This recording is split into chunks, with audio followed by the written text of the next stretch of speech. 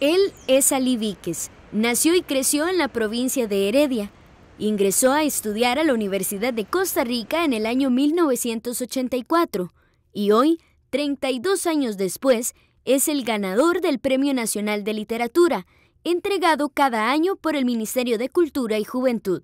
Yo creo que los premios siempre son una oportunidad de dar a conocer más un libro y el reconocimiento sin duda es algo que eh, los autores agradecemos. No obstante, eh, no creo que un premio sea eh, un dictamen definitivo acerca de un libro, porque mm, el dictamen definitivo acerca de los textos literarios yo creo que solo lo da el tiempo.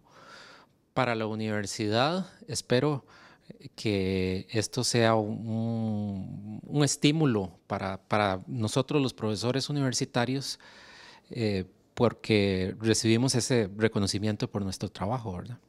El profesor Víquez obtuvo este premio con su novela El fuego cuando te quema, cuyo título fue inspirado en uno de los poemas del escritor español Juan Manuel Flores. Este es un texto que yo considero que se hace para más para plantear una discusión que para resolverla. Es una discusión filosófica que se aborda desde la perspectiva de varios personajes y cada uno de ellos tiene posiciones encontradas en relación con los otros, así que la idea era plantear una discusión, una discusión filosófica por las vías de la literatura o de los planteamientos literarios.